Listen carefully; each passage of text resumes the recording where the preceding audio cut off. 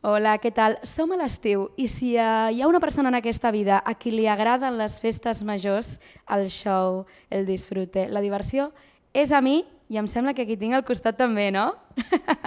Som a l'Ajuntament de Salou perquè estic aquí amb el regidor de festes, que és en Xavier Montalà, per parlar de les nits daurades de Salou, que són aquesta festa major d'estiu de Salou amb quantitat d'actes, concerts i de llum i colors per tota la ciutat, no? Doncs sí, ens trobem en un punt clau de l'estiu, com són les nits daurades, on ens juntem tots, tant salouencs com visitants, per gaudir de Salou en el seu estat pur. Hem dit que som aquí a l'Ajuntament de Salou, però ens hem posat aquí davant del passeig, que és bàsicament el punt neuràlgic bueno, de Salou en general i evidentment d'aquesta festa, com ha de ser.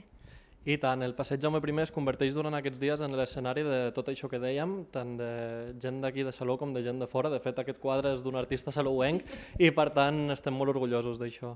Ja portem ben bé una setmaneta de festa, perquè duren 13 dies, des del 3 d'agost fins al dia 15. Són molts dies, una programació superextensa. No sé què tal estan anant. La veritat que està anant molt bé, està tenint molt bona rebuda, tant els espectacles que s'han fet fins ara, com han sigut Cultura Popular, la mostra de gegants, Vall de Bastons, etc, a la plaça de les Comunitats, com el concert d'ahir de música més clàssica, eh, s'han omplert tots i estan funcionant molt bé i tenen molt bona resposta, i per tant això ens indica una miqueta també com aniran aquests propers dies. Amb moltes ganes, no suposo? I tant, i tant, és unes festes que estem esperant tots. No sé què destacaries precisament de les festes? Alguna novetat d'enguany eh, destacable o alguna cosa que vingueu fent però que pues, t'agradi especialment?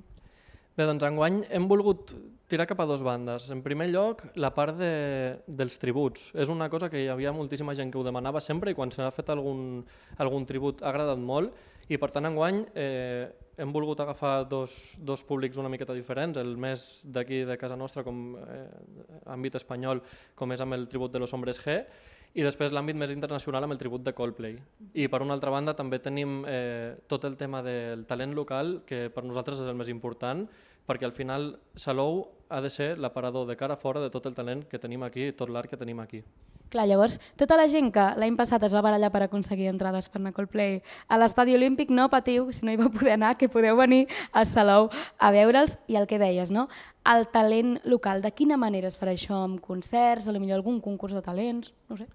Són concerts, aquí tenim diferents àmbits, des de la màgia fins al flamenc, fins al cant, eh, i cadascú d'ells tindrà la seva oportunitat per actuar, eh, o bé en una nit especial, com per exemple pot ser el flamenc i la màgia, que tenen les seves nits perquè també són molt demandades, o bé artistes eh, que ara comencen no, de, a nivell de cant, i tenen un dia dedicat per ells on aniran actuant un a un, fent un, una estoneta cadascú i podent actuar a l'escenari de les nits daurades, que per ells és molt important i per nosaltres, per suposat, també. Clar, Salou a l'estiu viu una cosa atípica, entre cometes, no? des de fa molts anys, és que tripliqueu, quadripliqueu, quintupliqueu la vostra població. De quina manera es treballa la regidoria de festes perquè hi hagi com una balança perfecta perquè la gent de Salou de tota la vida se senti seves les festes i senti que Salou és casa seva, però que alhora que els visitants que venen aquí, nacionals i internacionals, puguin també participar i puguin gaudir. Bé, doncs com dèiem abans, és una programació molt extensa i hi ha actes de tot tipus. Tenim sardanes, tenim habaneres, tenim música clàssica, tenim tributs de grups internacionals i nacionals, tenim talent local, tenim màgia, tenim flamenc. Eh, és, és tan variat, tan variat, tan variat, que al final el que aconseguim és això, que tothom se senti com a casa, que tothom pugui gaudir i que qui més qui menys es vulguin apropar a la plaça per veure el que es fa i quedar-s'hi perquè realment estan gaudint. I no sé si comparteixes aquesta opinió, però hi ha moltes vegades en què no, els catalans que estem acostumats a veure pues, castells, sardanes, no, els gegants, jo, per exemple, disfruto molt moltes vegades veient veient la gent estrangera que mai ho ha vist flipar amb el tipus de, de coses que nosaltres fem i nosaltres tenim.